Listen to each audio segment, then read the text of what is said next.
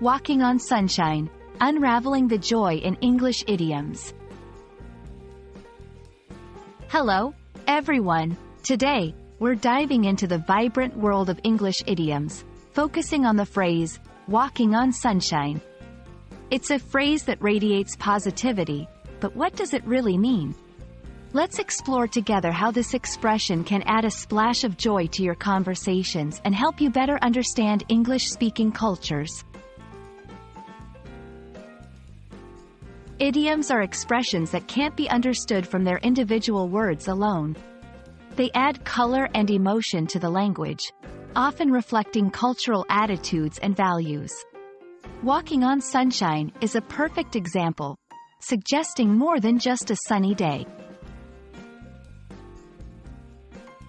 When someone says they're walking on sunshine, they're expressing immense happiness or satisfaction. Imagine the feeling of warmth and light from the sun, translated into emotion. It's about feeling so happy. It's as if you're walking on rays of sunshine. This idiom is often used to describe a sense of joy, success, or well-being that's almost tangible. Though its exact origins are hard to pinpoint, Walking on Sunshine became widely popular after the release of Katrina and the Waves hit song in 1985. Since then, the phrase has been used in various contexts, from casual conversations to literature and media, symbolizing peak happiness. It's a versatile expression, suitable for both informal and formal settings, though it retains a light-hearted, joyful tone. To help you grasp how to use Walking on Sunshine, here are a few examples.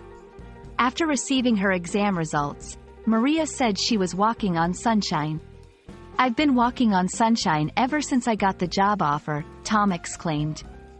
Feeling like I'm walking on sunshine whenever I'm with you.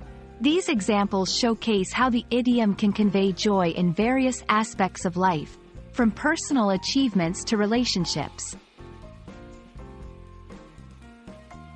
Walking on sunshine is more than just a phrase, it's a vivid expression of joy and contentment. Whether you're learning English or looking to enrich your vocabulary, incorporating idioms like this can make your language more expressive and engaging.